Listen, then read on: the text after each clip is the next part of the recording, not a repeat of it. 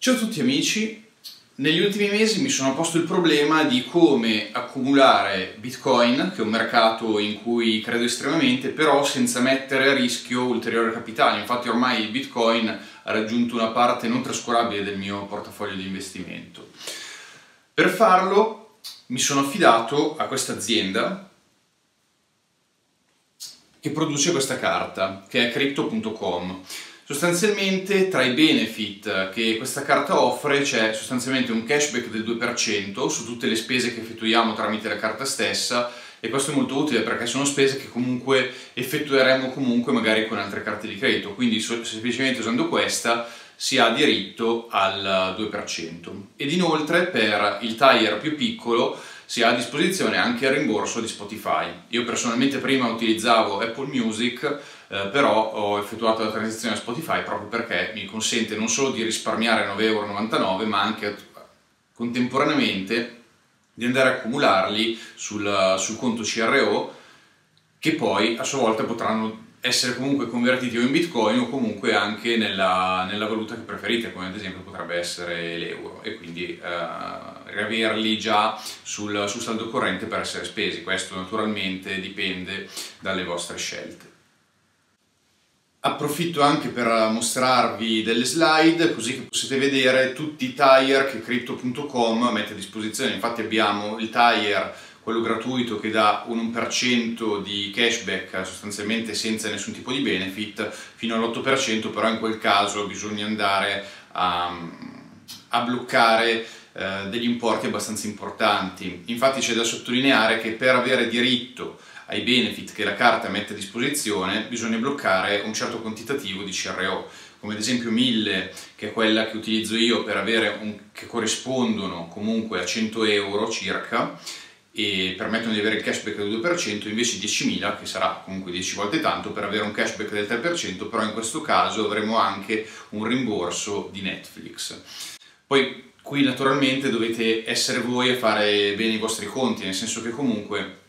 è un'azienda che sta estremamente crescendo questa, però uh, potrebbe comunque fallire, potre, il valore dei CRO per qualunque tipo di rischio potrebbero comunque arrivare a valere a zero, quindi andare a impegnare cifre importanti è comunque sempre un rischio che, che bisogna considerare. Io infatti personalmente per il momento appunto ho bloccato solo uh, il tire da 1000 CRO e comunque da dei benefit uno che vengono ammortizzati eh, molto in fretta, perché infatti per rientrare dei, dei 100 euro che blocco e che comunque voglio sottolineare che vengono restituiti dopo sei mesi, poi dovranno essere nuovamente eh, ribloccati se si vuole utilizzare tali benefit, eh, però comunque vengono ammortizzati nell'arco di circa 4 mesi con questa offerta. Invece per già bloccare il tire da, da 10.000 CRO invece bisogna attendere un tempo considerevolmente più lungo per arrivare a riammortizzare tramite i bonus la cifra bloccata. Comunque non preoccupatevi, questo video è anche, eh, soprattutto, anzi rivolto ai neofiti del settore proprio perché chi è esperto conosce benissimo questa azienda, ci sono tantissimi video su YouTube che la descrivono. A me piace molto perché rispetto ad altri competitors rende il tutto molto, molto più intuitivo, non è assolutamente complicato andare a convertire euro nel, nel suo token, andare a fare anche operazioni di trading e soprattutto andare a utilizzare la carta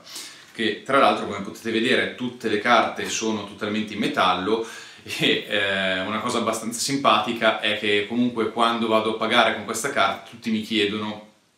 che tipo di carta è, che comunque ha un peso importante ed ha veramente una sensazione molto premium. Comunque eh, questo video non vuole essere assolutamente una pubblicità per l'azienda, anche se può sembrarlo, però è proprio una carta che eh, mi è arrivata a fine agosto e la sto usando regolarmente e ha sostituito praticamente tutte le altre carte. L'unico difetto è che i tempi di spedizione possono essere abbastanza lunghi, per me ci ha messo poco più di un mese per arrivare dal momento in cui l'ho ordinata e il secondo difetto è che purtroppo Amazon.it al momento sembra non, non accettarla, quindi per Amazon utilizzo un'altra carta, però questa qui eh, l'ho provata, funziona comunque con Apple, ovviamente con Spotify, con Netflix, eh, per tutti i ristoranti non ho mai avuto un problema per pagare ehm, qui in Italia in qualunque posto in cui io sono andato. Va bene, vi ringrazio per avermi ascoltato in questo primo video, un grazie a tutti, ciao!